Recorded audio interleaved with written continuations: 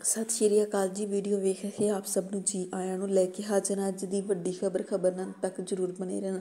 ਜਿਨ੍ਹਾਂ ਵੀਰਾਂ ਭੈਣਾਂ ਨੇ ਚੈਨਲ ਨੂੰ ਸਬਸਕ੍ਰਾਈਬ ਨਹੀਂ ਕੀਤਾ, ਉਹ ਸਬਸਕ੍ਰਾਈਬ ਕਰ ਲੈਣ ਅਤੇ ਵੀਡੀਓ ਨੂੰ ਲਾਈਕ ਅਤੇ ਸ਼ੇਅਰ ਜਰੂਰ ਕਰ ਦੇਣ। ਸ਼ੁਰੂਆਤ ਕਰਦੇ ਹਾਂ ਅੱਜ ਦੀ ਵੱਡੀ ਖਬਰ।